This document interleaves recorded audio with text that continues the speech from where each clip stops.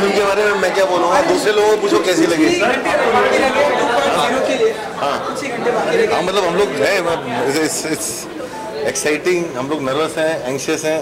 कुछ समझ में नहीं आ रहा क्या होगा अंदर आपके काफ़ी दोस्तों ने फ़िल्म देखी तो अरे दोस्त तो तारीफ़ ही करते हैं यार। असली ऑडियंस को जाके पूछो उनको कैसी लगी? मुझसे क्या पूछो?